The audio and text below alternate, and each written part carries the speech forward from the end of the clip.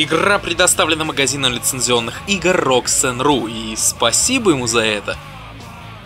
Пэмс. Два ассасина. Одного роста. Женщина и мужчина. Лет по 20. И эти дьявольские усмешки. Думаю, вы близнецы Фрай.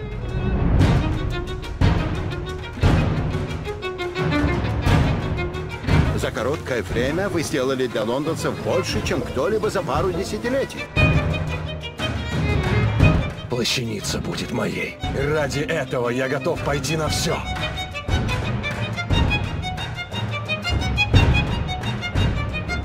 Есть люди, которые считают, что развитие серии Assassin's Creed остановилось где-то в 2007 году, то есть оно и не начиналось. Что игра это вообще спин Принца Персии без бега по стенам, ну и всякое такое. И если следовать такой логике, выходит, что ассасины это такой нелюбимый сын в семье, который из года в год пытается что-то поменять и доказать своим родителям, что на что-то способен. Однако, кто сейчас лежит под слоем пыли, а кто продается миллионными тиражами, каждый год. Поэтому, как истинные математики, мы просто сделаем вывод, что Assassin's Creed не существует. К чему я развел весь этот бред об изменениях? Да к тому, что свежий Assassin's Creed Syndicate это отличный пример того, как, пытаясь что-то поменять в лучшую сторону, можно сделать только хуже. Действие сюжета переносит нас в Лондон середины 19 века и знакомит нас с двумя членами Ордена Ассасинов, еще к тому же и близнецами, Джейкобом и Иви Фрай. Как это водится у неравнодушных к стогам сена, они гоняют за частицами Эдема, делая все возможное, чтобы артефакты не попали к тамплиерам. После очередного убийства Иви чувствует след, который как раз и уводит героев в Лондон, где те, вне всякого ведомства совета, начинают борьбу против Ордена с крестами на груди. Думаю, не я один по трейлерам и вообще описанием сюжета ожидал какой-то сценарной инновации в этой части. Вдохновление криминальными фильмами, того же Гая Ричи, например, Лондон все-таки. С веселыми ситуациями и масштабными войнами банд. Собственно, участие этих банд в сюжете. Всегда хотел стать главарем банды. Суровым, но честным.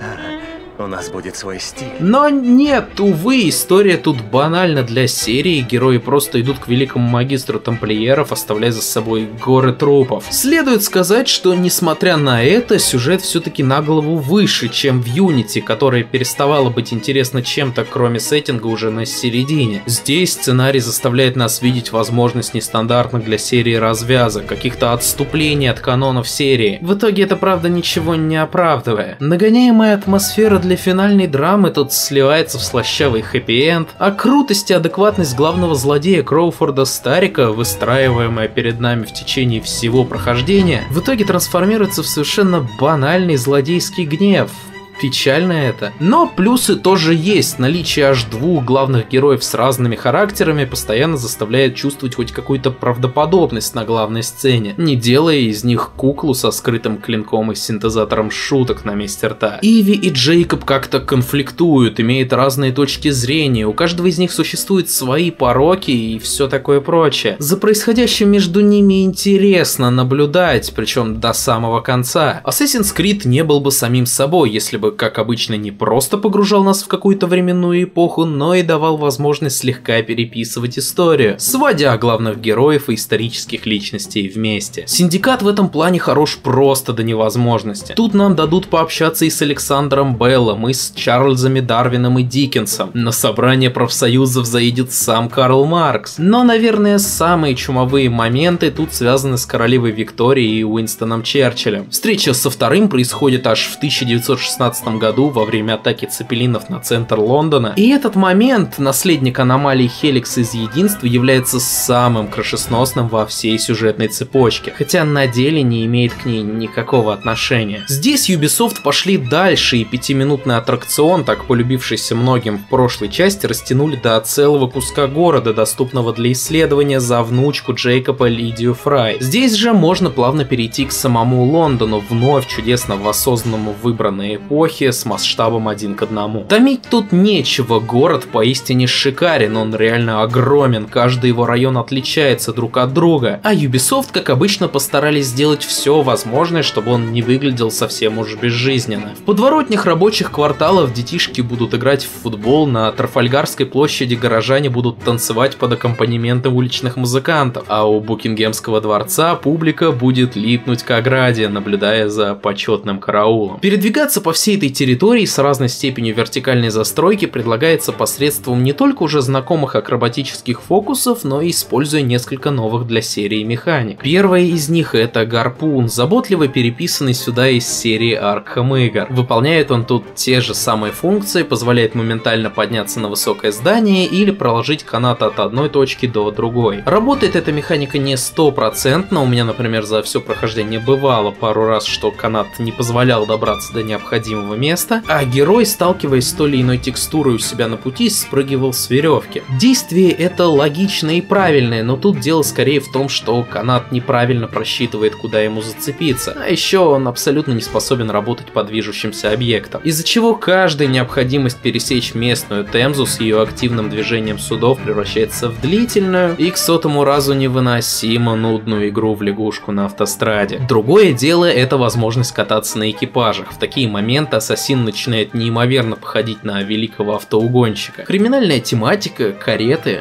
Хм. Но по делу экипажа хороши. Они отлично чувствуются и становятся просто незаменимыми при необходимости путешествовать на расстояние длиннее, чем три сотни метров. Таким образом, все механики перемещения по Лондону тут необходимы. Паркур на короткие дистанции, крюк до 300 метров, все остальное это экипажи. Однако так уж свободно по Лондону ты не поездишь, во всяком случае поначалу. И не дадут вам это сделать висельники, бандитская шайка, подконтрольная Старику. Дело в том, что каждая собака из этой кодлы будет агриться на вас, даже если вы просто пройдете мимо них по улице. Стоит ли говорить, что в 70% случаев эти скоты ломают этим ваш стелс-подход? Лечится это просто прокачкой специального навыка вашей собственной группировки Грачи. Ну и идея у тебя. На войне банд, как в старые добрые времена, завязана половина заданий в местном открытом мире. Чтобы освободить какой-то район, вам нужно в каждом его квартале выполнить какой-то ивент. Это может быть освобождение детей, буквально взятых в рабство на мануфактуре, убийство определенного тамплиера или его похищение для дальнейшей сдачи властям. Когда вы насолите висельником в определенном процентном соотношении, на вас выйдет главарь шайки в этом регионе. После его смерти и завершения всех оставшихся заданий настанет время грандиозной стрелки стенка на стенку, по итогам которой игрочи, естественно, начнут рулить определенным районом. Свою собственную группировку, как говорилось ранее, можно и нужно прокачивать, покупая дополнительное обучение для повышения ранга, разноображивая классы. В целом, ваша банда это эдакий аналог братства из прошлых частей. Так сказал, как будто это какой-то срыв покровов. Однако теперь без заданий, да и вообще любого менеджмента. Этот, как и другие элементы прошлых игр, благополучно канули в лету. Честно говоря, Assassin's Creed Syndicate избавился просто от огромного количества вещей, которые вас банально тормозили. Тут больше нет мини-игры по взламыванию замков, покупки снаряжения и его прокачки только в определенных местах, все под рукой в главном меню. Но самое главное это тотальное отсутствие условий для рассинхронизации. Помните те отвратительные моменты, когда вас насильно заставляют соблюдать стелс в задании, а если вас заметили, игра незамедлительно заканчивается. Кто бы мог подумать, что этот некогда раздражающий элемент держал на себе весь пласт какой-то логичности геймплея Ассасина. Дело в том, что теперь логика в этом аспекте пропала, наверное, абсолютно отовсюду. Любая миссия, которая по той или иной причине обернулась вашим раскрытием, вызывает скорейший суицид этой барышни. Неустойчиво, но все-таки сидящий некоторое время назад рядом с вами. На задании задушили полицейского на глазах у толпы. Никто не шелохнется. Перебили половину охраны Банка Англии, чтобы вернуть печать. Все все равно будут делать вид, что эта печатка там всегда и была. И так абсолютно везде. На заданиях, где логика как раз важна. В открытом мире законы почему-то почему-то работают как раньше. Совершили что-то не очень тихо, готовьтесь к крикам, визгам и толпе полицейских, что подбегут к вам. С этими товарищами, кстати, даже при полной прокачке лучше не связываться, бьют они больно и жестоко. Причем не зависит это от персонажа, за которого вы играете в данный конкретный момент. Что Иви, что Джейкоб одинаково успешно получают от них дубинкой по голове, меж тем в остальное время разница между двумя близнецами чувствуется, хотя не идеально. Скажите,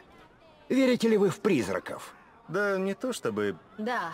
По логике, Джейкоб успешен в драках, а Иви в стелсе, но где-то уже к середине прокачки за Иви играть выходит гораздо легче. Ведь стелс у нее прокачивается аж до эдакой неподвижной невидимости, с этим удирать легче, а пару-тройку врагов она и так уложить сможет. Вся прокачка и снаряжение у двух персонажей разная, так что можно настроить все по своему вкусу. Исправить боевку вам этим, правда, не удастся, ведь с уходом полноценных мечей вся подноготная местных схваток с полуторакнопочной системой боя боя вылезла наружу, а долгожданного доведения до ума огнестрела еще, увы, не случилось. Хоть как-то забавляют тут бои на экипажах при погонях, что эффектно и реально круто. Никуда не делся тут донат, который, в отличие от того же единства, теперь очень так ощущается. Вся прокачка, помимо навыков главных героев, зачастую требует ресурсов, которые в открытом мире на каждом углу не валяются. Их нужно искать, причем чуть ли не специально. Без них нельзя ничего скрафтить, скрафтить, нечего вложить в развитие банды и так далее. И именно эти ресурсы недвусмысленно предлагают нам покупать за деньги. После модели Unity с покупным украшательством это все ощущается как закрутка гаек. Будет инфляция,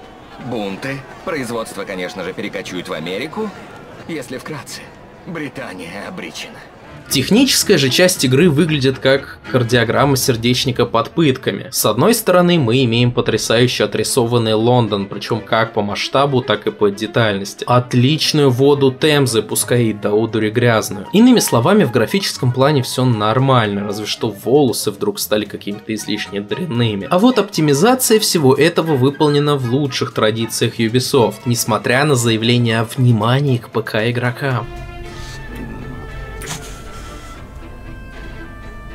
Я могу. Игра красива, да, но не настолько, чтобы выдавать 10 FPS при ультра настройках на предтоповом ПК. Да что там говорить, не каждый топ обеспечит ей стабильные 60 кадров. Хотя, надо признаться, багов все-таки стало значительно меньше. До нуля далеко, но то, что есть, это уже хорошо. Никаких претензий нельзя выдвинуть к звуку. Тут хорошо абсолютно все. Мотивы со скрипками, их отличный микс с типичной оркестровкой, плавное перетекание композиций поистине радует уши, поливая их чуть ли не медом. Блин, звучит красиво, а в реале мерзко, наверное. А что в итоге? Подводя черту, можно сказать, что Assassin's Creed Syndicate это безумно хорошая игра. Да, в ней до черта минусов, да, в плане оптимизации тут Ubisoft во всей красе. Да, тут нету больше мультиплеера, история в будущем паршивая, но зато хотя бы не раздражает. Много тем не раскрыто так, как хотелось бы, чтобы их раскрыли, но поверьте, когда вы попадете в местный Лондон и начнете хотя бы немножко двигаться по местной истории, вы поймете, что на все это можно спокойно закрыть глаза. А когда Лидия Фрай будет выходить через пролом в Лондон уже 20 века на фоне Тауэрского моста, вау. Я лично сорвался на неприличные возгласы восторга. Короче говоря, оно того стоит. С вами был Совет Ват специально для Брейнант. Приобрести Assassin's Creed Syndicate вы можете в дружественном нам и вам онлайн-магазине лицензионных игр Roxanne.ru. Если понравилось видео, поставь большой палец вверх, подпишись на этот канал, можешь еще на мой сходить. Ну и по традиции, leave your comments below и до встречи.